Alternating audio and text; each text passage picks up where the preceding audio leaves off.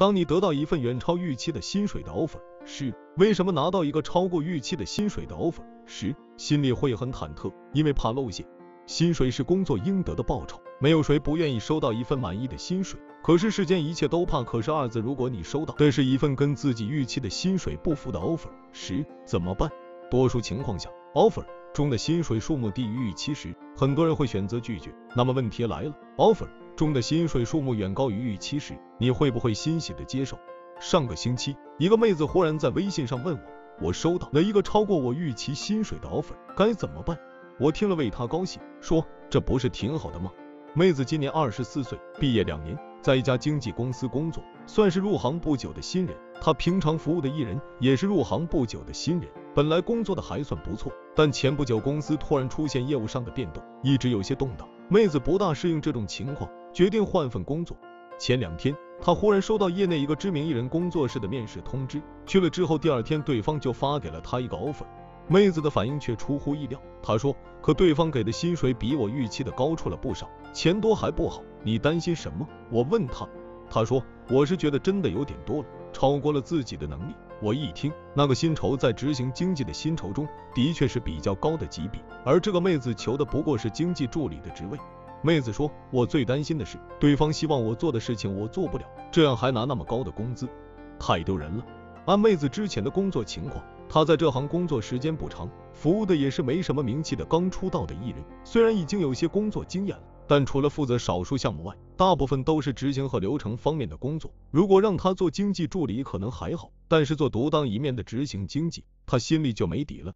妹子说，那个公司应该是比较缺人。当他们发现妹子以前做过类似的事情后，就毫不犹豫的给她发了 offer。但问题是，为什么我会这么没底？大部分人决定跳槽与否。薪水占了很大因素，我自己也遇到过类似情况。在我的上一本书《世上有颗后悔药》中，我曾经写过一篇文章，站在重要的十字路口，认真的做了一个错误的选择。里面讲了我第一次跳槽的经历，有兴趣的朋友可以去看看。当时我决定离开工作了十一年的第一个单位，很大程度上是因为那个新公司给我的薪水几乎是我第一个单位的薪水的两倍。别说很多年前了，就算是现在，那个数字也依然具有一定的吸引力。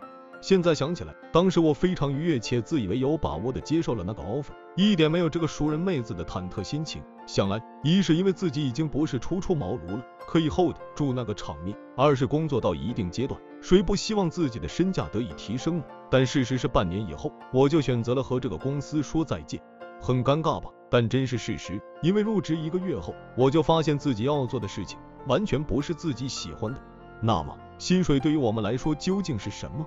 有人说它是生活的来源，也有人说它是劳动应得的报酬。可是如果真要表达的贴切一些，薪水本质上是一种货币化的体现。这不仅仅体现在目前从事的劳动上，还体现在一它是过去学识的货币化，二它是工作业绩的货币化，三它是未来契合度的货币化。每个人人生中的第一份工作，因为全无经验，而这时候谈潜力尚早，所以雇主通常只能从学历、专业职能上做简单的衡量，这样一来，薪酬都不会太高。但是工作了三年后，这种情况就会发生变化。如果说第一份工作的薪水中百分之八十来自对学历、专业的衡量，那么工作三年后，你薪水中的这一部分的比例就会大幅下降，可能会降到百分之三十以下，而至少有一半的衡量因素会落在第二点上，也就是你前一份工作的业绩上。随着工作年限的增加，工作经验的积累，这个比例还会不断提高，差不多到了三十岁，工作业绩会成为影响你薪水的大部分因素。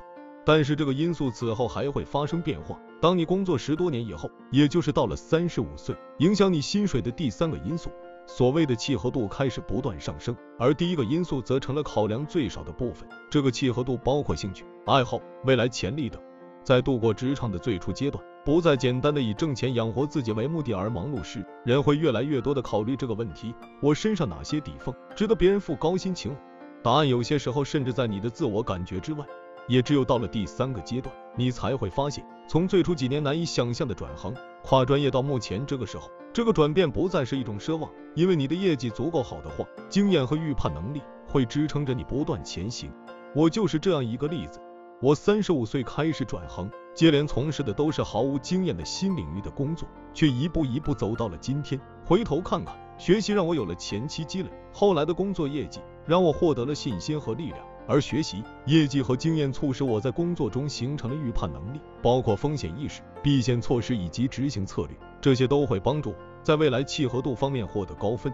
同样的情况如果发生在二十多岁，几乎不可能被人所接受。那么最关键的在哪里？就在于经验。所以，超出预期的薪水常常是为这部分经验和潜力所支付的。回到妹子的 offer 上，刚刚说的薪水货币化，其实还是站在求职者的角度讲的。因为妹子的工作内容相对比较简单、基础，她并没有觉得自己有很丰富的工作经验，所以她在换工作的时候，依然按照自己原来的工作提报了预期薪水。也正因为这样，当一份超过预期薪水的 offer 摆在她面前时，她就会显得底气不足。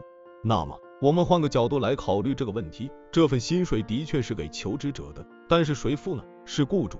雇主的确会考虑求职者的情况。但是对于一个出钱的人来说，他首先会考虑的是这份工作的责任和要求：一，他需要什么样的人做什么样的工作；二，这个工作需要面对什么样的压力；三，这个压力应该达到什么样的效果；四，这个效果需要用什么样的标准去衡量。